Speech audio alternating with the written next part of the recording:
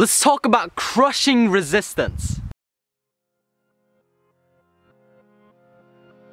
So in your journey through life, in your adventure and wherever you go, wherever you're heading, whatever you're doing, you're gonna encounter a lot of obstacles and difficulties. Regardless of what you're doing or where you're going, it's gonna get difficult and it's gonna get challenging and I wanna help you get through all of that as quickly and as strongly and powerfully as possible. So the way to start crushing through resistance is to make sure that you're going for something that you really love.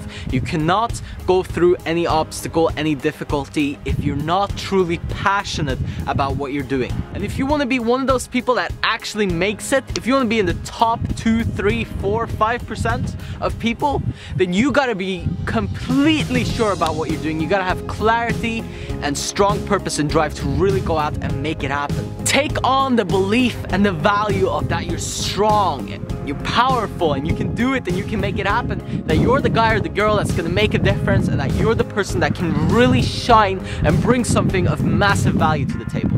Make sure that you really are making a contribution because it empowers you to give even more and do even more. When you encounter a wall of resistance, when you come across something that is really challenging and you feel like you're just struggling, you're almost like choking, it's so difficult, you have to look at your core values, your beliefs, and what your ultimate vision and goal is. That's the most important thing. If you have that clear, and it's drawn out, you know where you're going, you know roughly where you're heading, you know what it is that you want, then you can always, always, always push through the resistance because it's worth the time, energy, and effort that it takes to get what you want. So when there is a challenge, when there is a difficulty, ask yourself this question if you really want to get past it as quickly as you can. Say to yourself, what does it take?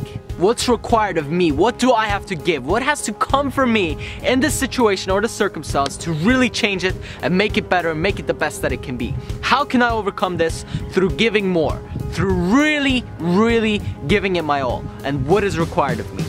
When you take on that kind of mindset, it's so powerful because you start to see opportunities. Your eyes open up you see the ways out. You see where you can go. You see what you can do to get yourself to the other side. Stop looking at the obstacles like something that's in your way and really just bothering you and stopping you from getting to where you want to be.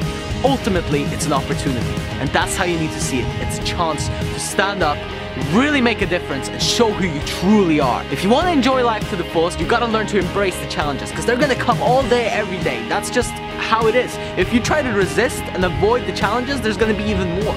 So stop trying to avoid it. Instead, every time that it comes up, smash it, crush it, and keep going. That's the way to go.